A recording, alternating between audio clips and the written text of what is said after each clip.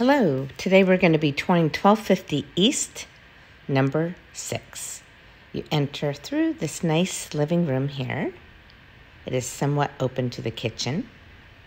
Kitchen is an eat-in kitchen. You have a refrigerator, range, stainless sink, stone counters, and nice amounts of storage space.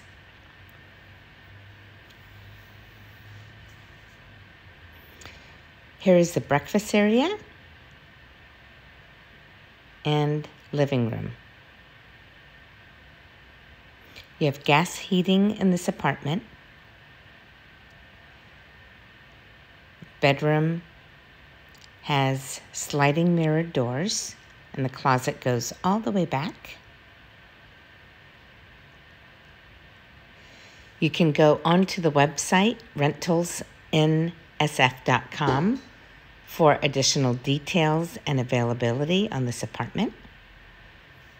You have a full bathroom here with tub and shower combination. And there you go. If you're interested in this wonderful space, please go to rentalsinsf.com. Thanks so much and have a great day.